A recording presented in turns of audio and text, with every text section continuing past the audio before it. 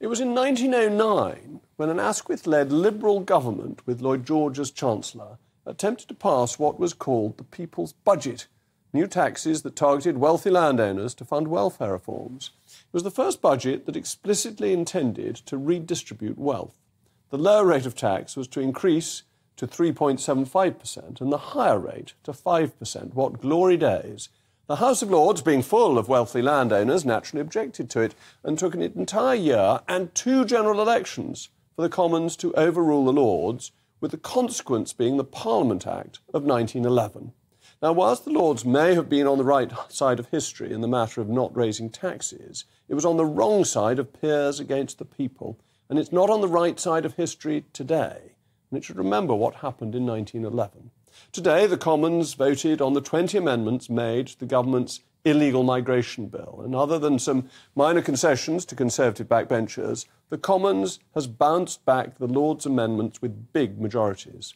Fundamentally, the function of the House of Lords is one of detail and process. When legislation passes through to the upper chamber, its primary role is to ensure that the legislation is properly written. That is to say, that it's a statutory instrument that has an affirmative rather than a negative process, the details of legislation, not the policy. The policy is for the Democratic House. But the Lords' amendments to the illegal migration bill are of a substantial political nature rather than ones of constitutional propriety. And by acting in this way, it's pushing the boundaries of conventions. And bear in mind, we don't have a codified constitution, we have one based on conventions. And this is part of a broad attempt, uh, trend from the upper house. We've discussed it on the programme before. The Lords seem to have a problem with the Conservatives, especially since Brexit. Since 2016, the government has lost more than half of its votes in the House of Lords, 350 defeats in six years. In the preceding six years, the number was 160. So it's more than doubled. And a lot of that was around Brexit and now on migration an issue where the elected chamber has considerable public support and wherefore the Lords should be especially careful.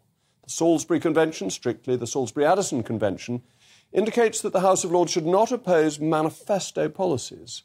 Well, the Conservative Manifesto of 2019 states that we intend to take control of immigration.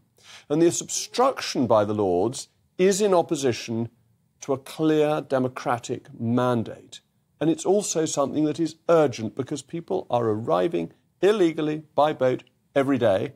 And it's costing you, the taxpayer, millions and into the billions of pounds. Half a million pounds a day just to reserve spaces in hotels. Three billion pounds a year annual cost. More than 13,000 people have crossed the channel already this year.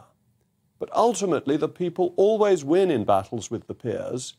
And the Lords must remember that the Parliament Act of 1911 explicitly states its intention to substitute for the House of Lords, as it presently exists, a second chamber constituted on a popular instead of an hereditary basis.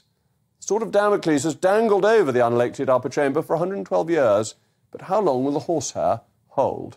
As always, I want to know what you think. Mailmog at gbnews.com.